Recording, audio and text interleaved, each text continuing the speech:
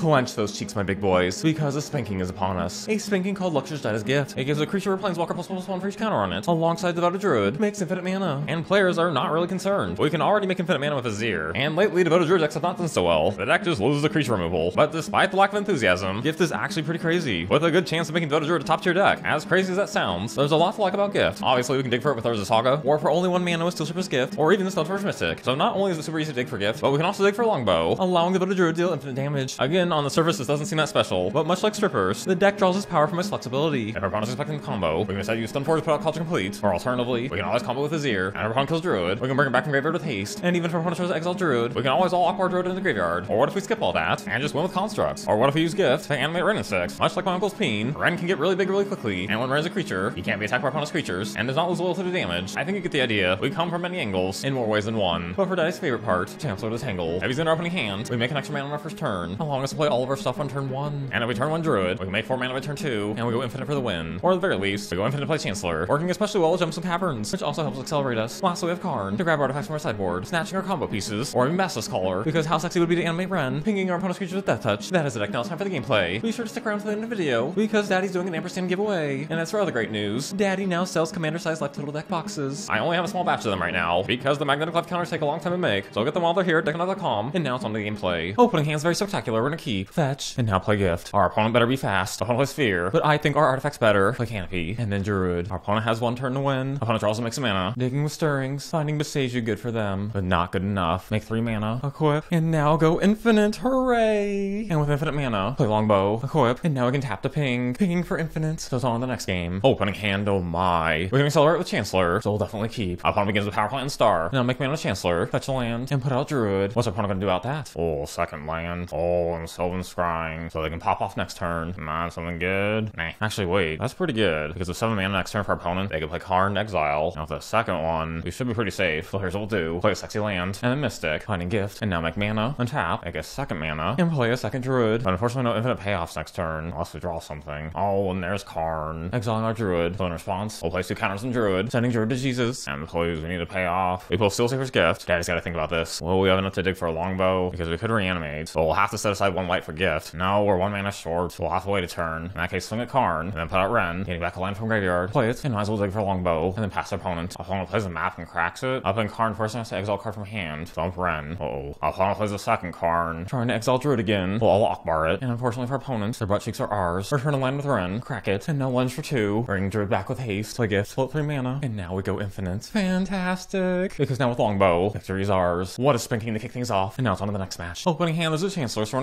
putting out Druid. Now we'll see what our opponent's got. Opponent plays an Ornithopter and passes. What a loser. Not much we can do this turn, so we'll play a land and pass for now. Opponent plays a Saga, and Stoneforge Mystic Finding Kaldra Compleat. How unfortunate for opponents. We'll play Call, putting Vizier in hand, and now it's time for fun. Play Vizier, net out infinite mana, and with one white, Call, grabbing Ballista, and it's Ballista for the win. So beyond game two, opening hand we have Druid, but it seems a little slow. We'll mull. Uh oh, stinky. Two Chancellors, but no land. We'll mull. Oh, and this is pretty good. We got the bottom two. One on the right side, reveal Chancellor and Gemstone, exiling Chancellor. Our opponent scores out some artifacts, Chancellor triggers, allowing us to play Mystic, grabbing Kaldra Compleat, and now it's back to opponent. Opponent plays Memnite, Colossus Hammer, but then they pass back. Wow. We find Gift, meh. But more importantly, put out Kaldra, and now we swing in for five. Opponent takes it back to them. Alright, opponent swings for two. Okay. Then they play Steelshaper's Gift.